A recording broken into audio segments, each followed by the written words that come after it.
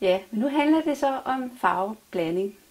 Og øh, inden for farveblanding, der skal du bruge de øh, grundfarverne, som du måske allerede har investeret i, eller også kan man jo købe dem i hobbybutikker. Grundfarverne er nogle specielle, de er helt rene, det er ikke nogen blandingsfarver, så du skal ind og have fat i den gule, og du skal ind og have fat i den blå, som hedder en cyanfarve, og du skal ind og have fat i den røde, som vi kalder magenta. De tre farver her øh, er helt rene, og når du blander dem indbyrdes, så kan du så blande hele, ja, alle de farver, du er omgivet af. Det er jo et utroligt spændende område at komme og blive, få bekendtskab med. Så det vil jeg meget gerne introducere dig i. Så øh, inden vi så går i gang med det, så vil jeg lige fortælle, hvad der er rart sådan lige at have arrangeret, inden man gør det. Nu tager jeg lige farverne væk her, og så vil jeg vise dig, at jeg synes, det er rart at have et køkkenrulle. Øh, og så for ikke at bruge et stykke hver gang, så tager jeg altså simpelthen lige og klipper det igennem. Øh, jeg klipper det bare sådan. Der kan man jo alt. Det er sådan noget, man kan sidde og forberede. Og så kan man have sådan nogle bunker her. Og det har jeg jo så faktisk gjort. Så jeg har til at tørre mine, øh, min plast og min, mine øh, pensler med. Udover det, så skal du have noget at blande farverne på. Og der bruger jeg en øh, ganske almindelig plastpose her, som jeg også har lægget ned i skuffen. Jeg klipper bare lige bunden igennem her og siden op. Og så har jeg faktisk et dejligt stykke plastik, som jeg bruger til at blande min farve på. Således. Sådan. Um, ja, det var så farverne og lidt køkkenrulle. Og så er det så, at du skal bruge noget til at, at, at male dine farver ud med. Og der kan jeg varmt anbefale, at du går hen og bruger bare sådan et plastkort, som du lige vil måske er udløbet. Men så gem dem, for de er meget, meget effektive. Især når man arbejder med akrylfarver. Hvis du nu ikke vil ofre dine plastkort, så kan du så tage sådan en almindelig dejtskraber. Det er også godt. Så nu er vi snart ved at være der. Jeg har sat nogle skeer op i, øh, i, mine, øh, i mine farver. Og jeg sagde jo, at det var ligeligt af hver, så jeg tager lige en lille klat gul her. Og det må godt være på øjemål, det kommer så ikke så nøje igen. Men det er mere princippet i, at man lige lærer, hvad er det, der gør, at en farve er mættende, og hvad er det, der gør, at man kan lysne en farve. Jeg har en pensel her, som jeg lige blander mine farver med. Sådan. Og nu er jeg så kommet frem til den orange farve. En mættende orange sekundær farve. Jeg har noget papir liggende her, som jeg bruger. Og hvis du øh, gerne vil gøre det derhjemme også, så kan du bare bruge almindelige kopipapir, eller sågar bare en, et, en avis, fordi du skal jo bare ind og, og arbejde og lege med de her farver, og lige få forståelsen af, når du nu går i gang med at gøre nogle andre ting, så ved du, når ja, når jeg skal have en orange, så var det jo den gule og den røde, jeg skulle bruge. Så hvis du nu gerne vil have sådan lige et princip, så kan du lige lægge den gule op, og den røde op på dit papir. Sådan der. Og så tager jeg så mit pladskort her, og kører farven hen over papiret. Og så får man den der skønne, skønne oplevelse af farven. Så er det jo godt, at jeg lige har klippet mine små køkkenruls aftørringspapir her. Skal lige se, om jeg kan få fat på dem? Jo. Og så tørrer jeg lige den af. Det er ret vigtigt, at den her lille plastplade, den altid er helt ren. For så kommer jeg til at blande farverne forkert. Jeg tager lige min røde farve også, og der kan man jo så tydeligt se, at det er en helt ren magenta rød, der ligger her. Og jeg gør igen, lige tør af. Og så skal jeg så have fat i min orange farve, jeg har blandet i forhold 1 til 1. Det tager jeg lige og lægger på her. Og kører den over her. Så har jeg en meget god husker, og faktisk også et smukt arkpapir med tre farver. Og det vil jeg lige hænge op på min tøj snor her bagved. Således. Det er jo dejligt, at man lige kan gøre. Det kan du også gøre hjemme i dit eget rum. Så det var den orange. Det vil sige, at nu er vi nået hertil. Så nu tager jeg så den magenta, og jeg tager den blå, fordi nu vil jeg gerne blande en violet farve. Og det vil sige, at jeg tager de to farver nu. Så du kan se, princippet er, at jeg har to farver hele tiden, og jeg tager lige lidt af hver. Og så tror jeg lige, at jeg vil tage et nyt stykke plastik. stykke plast her. Og så går jeg i gang med at blande min violette farve. Igen en del rød og en del blå. Og når jeg blander de to skønne farver sammen, så får jeg så en violet. Jeg vil lige give det en lille klat herovre med det samme. Jeg skal lige have lavet mit, mit ark, så jeg lige kan have et husker. Således. Og så har jeg lige en pensel, hvor jeg blander mine farver sammen, så jeg får den smukke, mættende sekundær farve. Og det er så samme princip igen, som jeg gjorde med den orange. Få dem blandet godt sammen. Således. Jeg kan lige den røde magenta hen over den hvide flade. Og hvis du bemærker, så kan du jo se, at nogle steder så går den hvide flade op igennem, så bliver farven faktisk lysere, og andre steder er den meget dækkende. Så der er et farvespil også der. Jeg tager lige og kører den blå farve, cyanfarven hen over mit papir. Og så tager jeg lige og vipper den violette. Og de sidder godt fast i her. Så. Den violette hen også. Sådan. Så.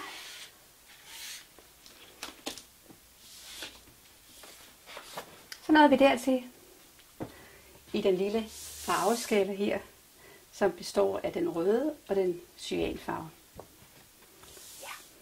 Den vil jeg så igen hænge op på min tørresnor.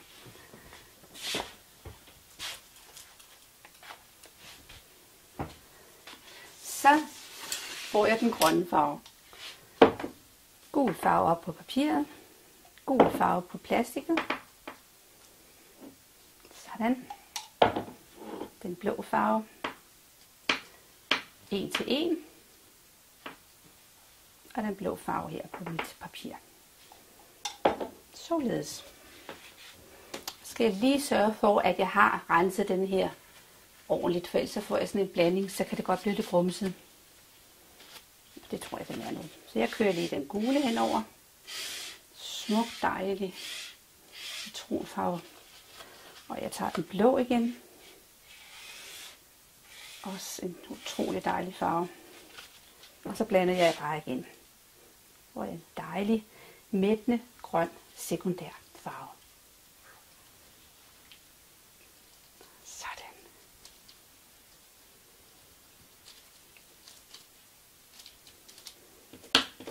Så nåede vi dertil, at nu har vi blandet de tre sekundære farver.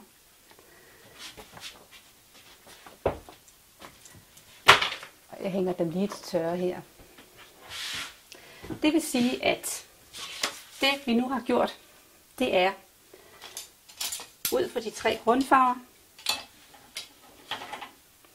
Den gule til den røde, den røde til den blå, og den blå til den gule. Det var grundfarverne. Så har vi blandet de tre sekundære farver, de ligger så herude. Indimellem, der ligger der så en uendelig farveskala, man kan blive ved med at blande i forhold til den gule og til den røde. Og jeg har lige et eksempel, så du bare lige er med på, hvad det er, jeg, jeg taler om. Du kan se, at jeg har den gule her, og så har jeg den røde, den sekundær, den ligger her. Og der kan du se, der er jeg allerede godt i gang med at blande i forholdet. Nu har jeg blandet 1 til 1. Hvis jeg så siger 2 til 1, altså to gule og en rød, så får jeg en helt anden orange farve. Hvis jeg siger 3 gule og en rød, så får jeg en endnu lysere. Og det er det, jeg nu vil gøre. Øh, I hvert fald tage og få blandet tre forskellige varme nuancer og tre forskellige violette og tre forskellige grønne. Så det gør vi bare nu. Og lige for en ordens skyld, den gule til den røde, vi går lige i gang med den her skala. Og der er det jo så det princip, jeg sagde til jer med 1 til 1, det gav en sekundær farve. Og nu vil jeg så gerne have noget, der er noget lysere, så derfor så siger jeg, at jeg tager to gule og en rød. Tre gule og en rød. Fire gule og en rød. Og det går jeg i gang med at blande nu.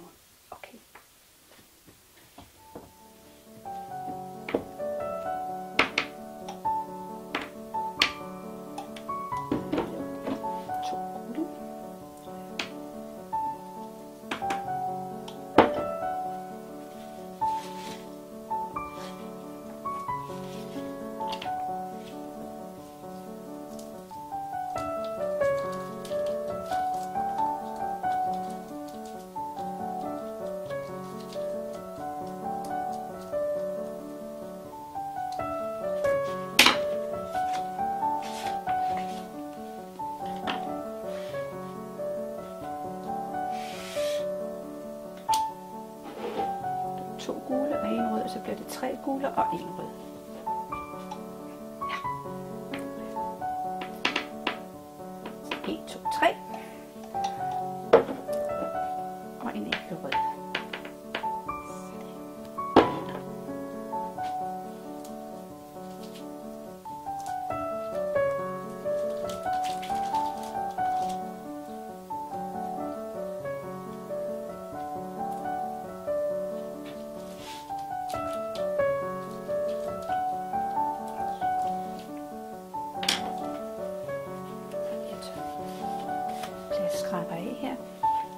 Tager farven op og kører den hen. Lidt lysere. Jeg tager lige en til, og det må jeg så være fire gule og en rød.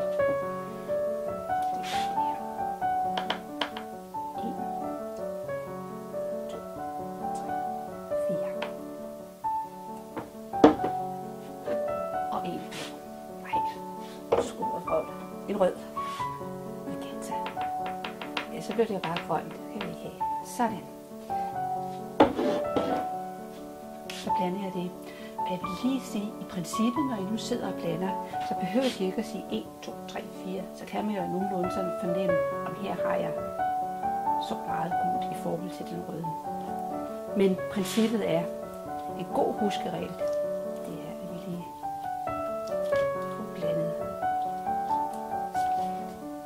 Der kan jeg faktisk lige fornemme her, at øh, jeg har ikke kommet godt nok med gul i, fordi jeg har jo faktisk valgt, at der skulle, det skulle være noget lysere. Så der kommer jeg bare lidt ekstra gul på. Det er det jo ikke. Sådan. Så får jeg sådan en dejlig lys orange farve.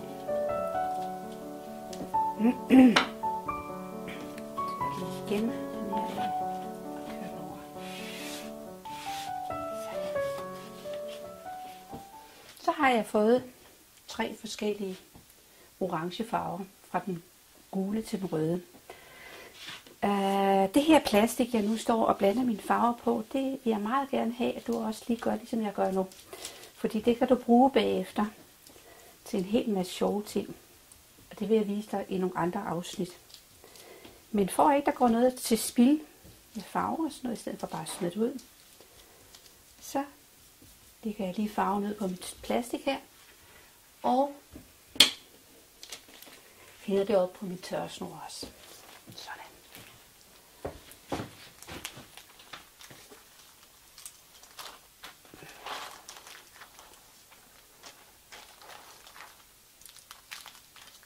Så. Og mine orange farver her. Og nu begynder der jo at ske noget bag bagved. Ser det dejligt ud med alle de her farver, der sådan bare får lov til at flagre.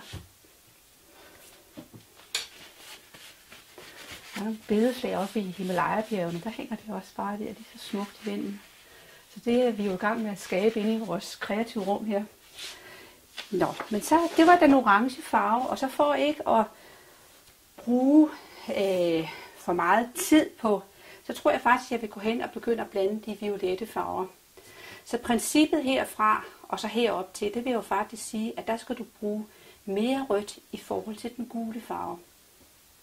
Og jeg er lige ved at tro, at jeg vil vise dig, fordi man siger jo den røde, jamen det er jo den rød, fordi I kan jo godt se, her ligger den røde farve.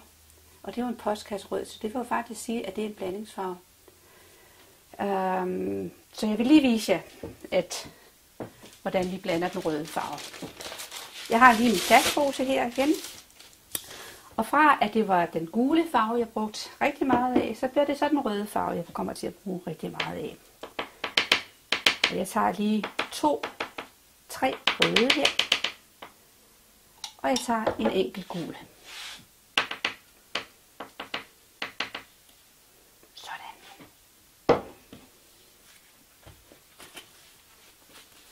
Og så blander jeg dem på mit plast palet.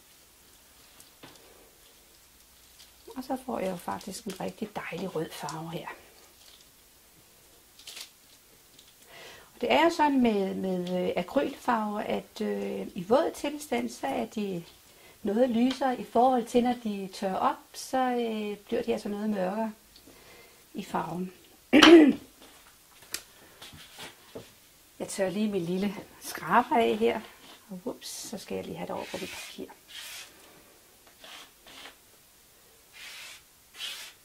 Og er det ikke fantastisk? Man bruger den her, og prøv lige at se, hvor hurtigt jeg får dækket et ark papir i en smuk linje. Voilà. Så den hænger jeg op på min tørresnor. Sådan. Så nu tror jeg, at jeg går i gang med den violette. Og som jeg sagde, jeg smider ikke noget ud, så vi kører lige farven ud på plastikket. Jeg kan altid bruge den anden til noget andet sjovt, tror jeg.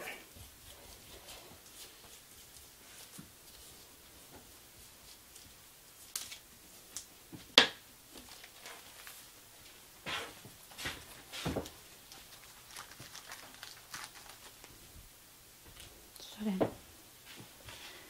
så er jeg nået dertil, hvor vi skal have lidt fat i den violette.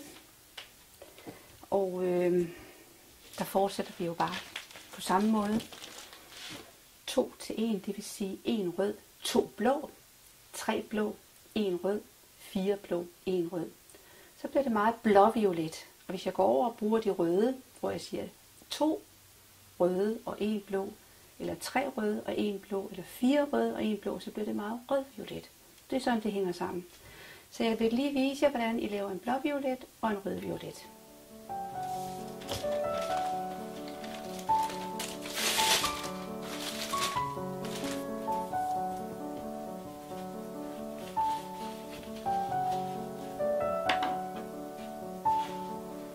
Og vi starter ud med den røde violette.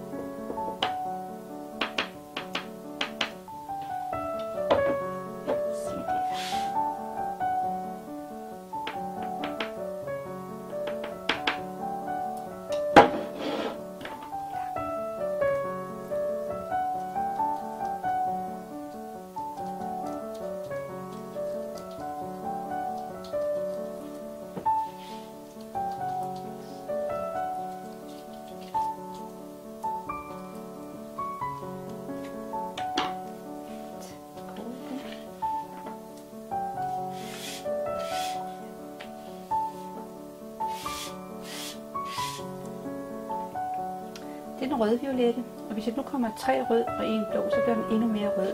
Og det kan I lige fornemme hernede på, på farvecirklen. Men nu tror jeg bare, at jeg vil vise jer den blå, blåviolette. Og der er det så lige at bytte om. Det vil sige, at jeg har kun én rød her.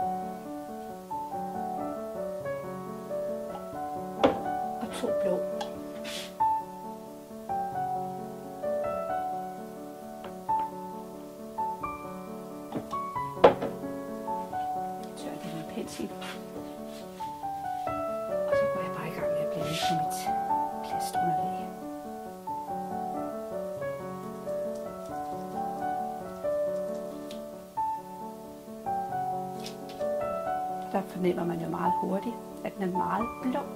Ja. Blå violette. Sådan. Jeg husker lige igen at tørre af her, så jeg får det blandet. Og så tager jeg lige og kører over her på mit papir.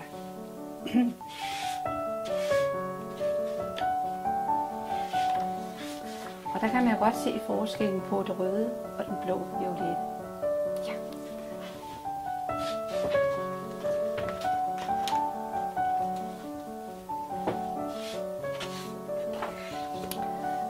Godt lige tage, hvor jeg tager tre af den røde og en af den blå, og tre af den røde, eller rettere sagt tre af den blå og en af den røde.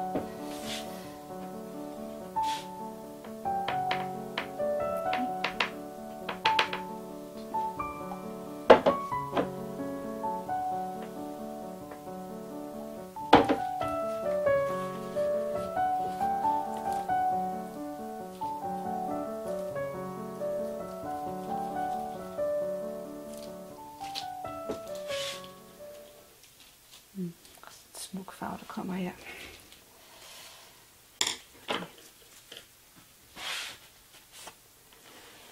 Sådan.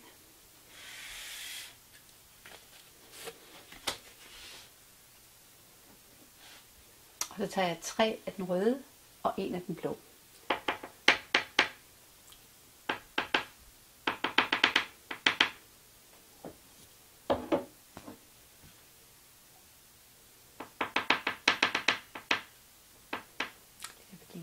linje her. Og igen tør jeg lige min pensel af.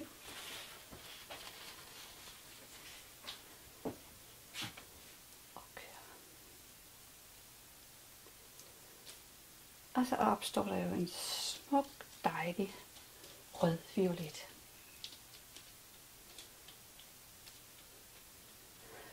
Og her kan jeg jo faktisk blive ved med at stå hele dagen og blande og blande og blande. Jeg kan jo blive dejligt grebet af det. Så tager vi lige her igen. Tør af. Og kører den på. Sådan. Mm. Voilà. Op og hen.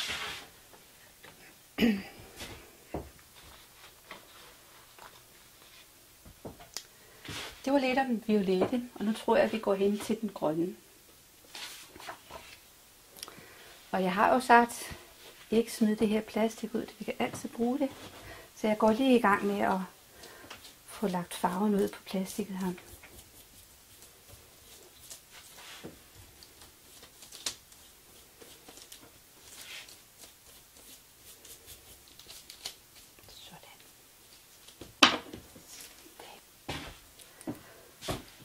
Så er vi nået til den grønne. Jeg tager et nyt stykke plastpose, der er forklædet. Lægger det på min. Og nu skal jeg jo så over i en helt anden farve. Så nu vil jeg lige rense min pensel rigtig godt her i vandet. Så jeg er sikker på, at jeg ikke får noget violet i den grønne. Fordi så er det jo der, det går hen og bliver lidt krumset. Sådan. Så er den klar, og jeg tager også lige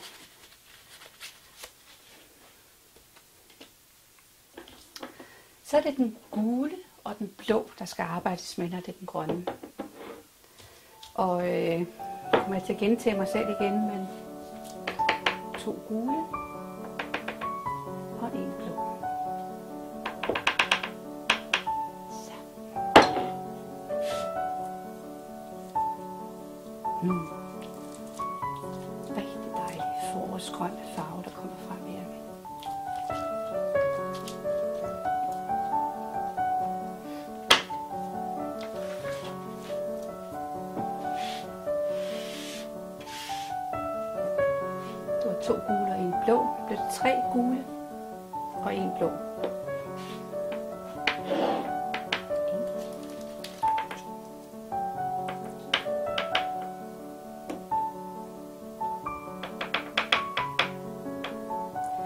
Og det siger jo sig selv, at så bliver den jo det lysere, fordi det er tre gule på nu.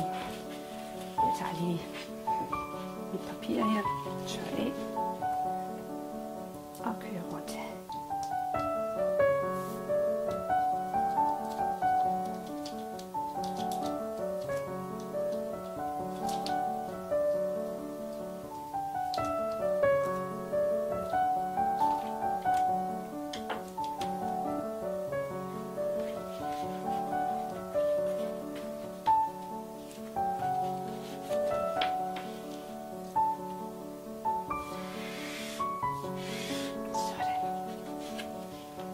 fik jeg lige lavet sådan to dejlige forårsgrønne farver.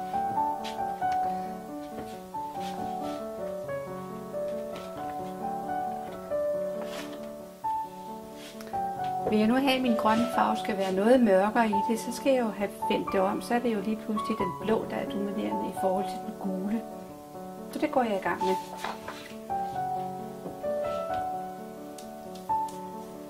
Igen, så vælger jeg lige, at ikke gå noget til spil, jeg vælger lige at smøre det tilbageblivende farve ud på mit plastunderlag her. Og lidt her, så kan jeg, det kan jeg godt lige bruge. Så det var den blå, der nu skal være den dominerende farve. To.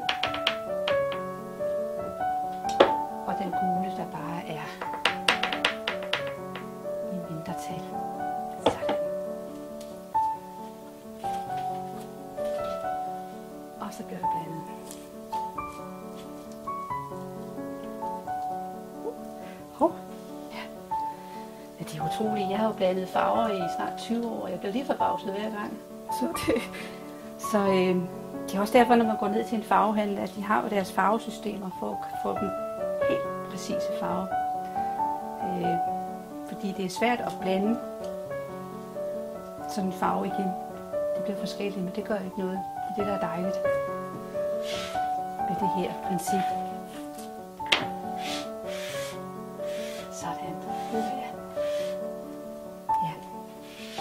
Tager lige en blå, hvor der er tre blå og en gul. Og så tror jeg faktisk, at øh, du også er ved at være med på det her princip. Det enkle princip med at blande farverne. Øh, bemærk, at jeg har øh, min farve op i de her glas, og prøv lige at kigge ned i farverne. De er altså helt rene. Det vil sige, at jeg har formået at holde det fuldstændig adskilt. Og det er jo det, der er fedusen ved at have de her skære. Fordi lige så snart man bare får en lille anelse blåt ned i den gule, så har man ødelagt den gule. Så får man ikke en fin orange. Så det er altså lidt vigtigt. Men vi vender lige tilbage her til farveblandingen. Mm.